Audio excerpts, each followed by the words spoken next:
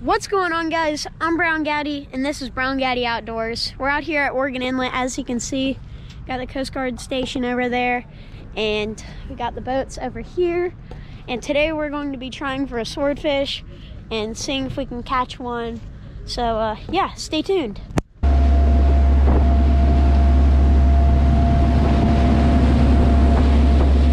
right, y'all, we got Charles and Connor.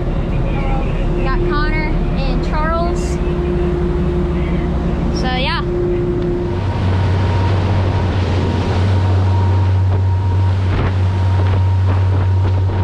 Alright guys, so when you're sword fishing, you have these lights here, and uh, when they get water on them, like this, you just wet your finger, and you put them on these areas right here.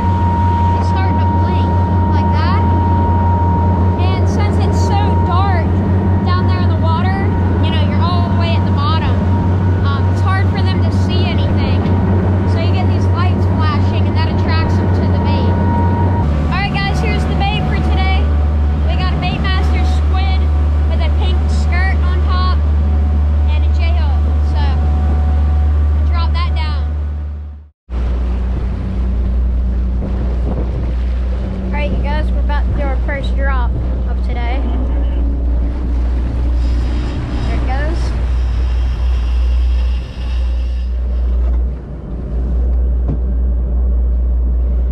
All right, y'all, we just hooked up on the sword, we think.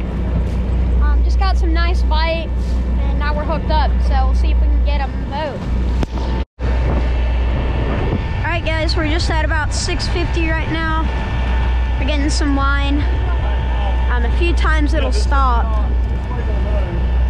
Hope it's a nice fish. Looks like a nice fish, but we'll see. Get the dart. Get the dart.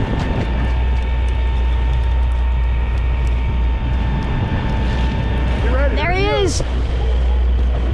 Go, go, go.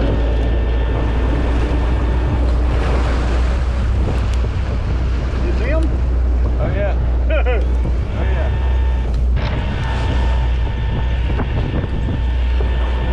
Stick him. Stick him. All right, now kind of put a little slack on it. Hold a little pressure. A little pressure. Okay, sorry. There we go, guys. We hit him with the dart.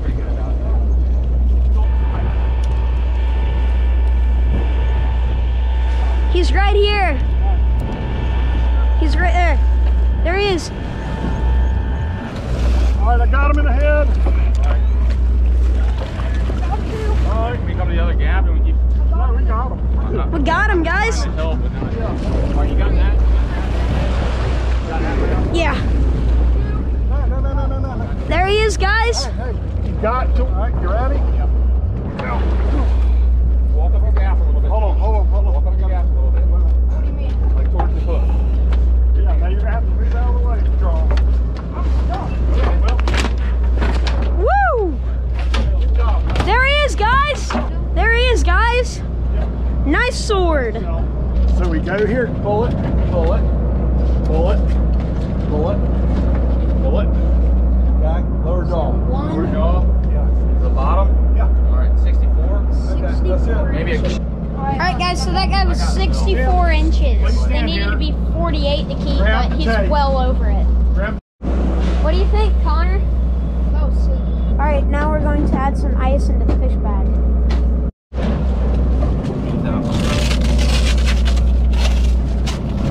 There's the sword.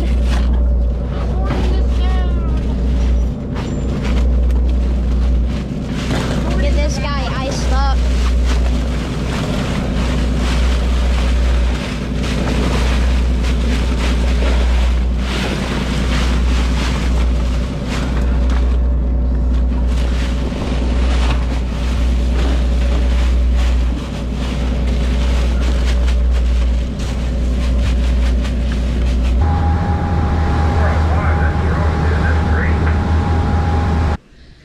House now. We got our swordfish fillets.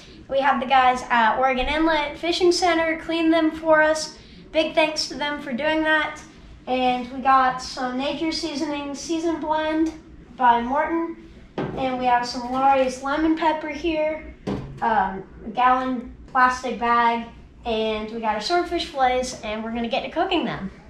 All right, guys, so the first thing we're gonna do is grab our plastic bag, and we're gonna get our Lawry's lemon pepper, open that up, and just put a little bit to the bag,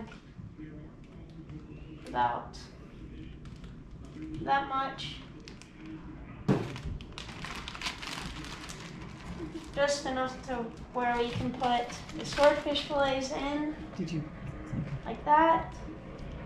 I'm gonna put all three of them in. Just like this. And close the bag. Just like this. And cover the fillets. And you're just gonna let them sit for about 15 minutes and marinate them. All right, guys, so we're gonna put our swordfish steaks that have been marinated for about 15 minutes. So I'm just gonna put them onto the grill now. The first one. One. Next one. On. And the last one. On it goes. Just like that. Cooking swordfish. Just close the grill now and cook it. And just like any other fish, you're gonna wanna get like the inside of the fish to about 145 degrees. And once it gets to that, you're pretty much done.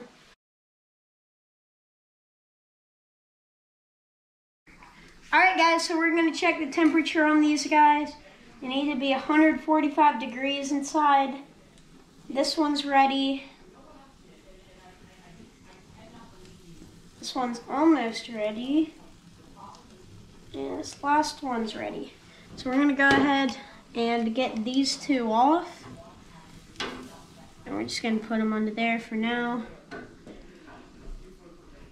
And we can check this one again, see if it's gotten there yet. And now it's ready. So we're gonna put that guy on and we'll see you guys in the kitchen. All right, guys, here they are. The three swordfish steaks. All right, guys, so we got our swordfish steak and we got some Spanish rice here. And I'm just gonna try some of the swordfish.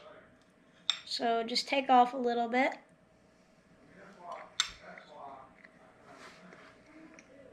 It tastes really good. Um, it's the first time that I've ever cooked swordfish. So that's pretty cool that I cooked it good the first time. I didn't burn it or undercook it. That's to be my swordfish catch, clean, and cook, guys. Um, if you enjoyed, make sure to like. And if you aren't already, make sure to subscribe. And I'll see you in the next video.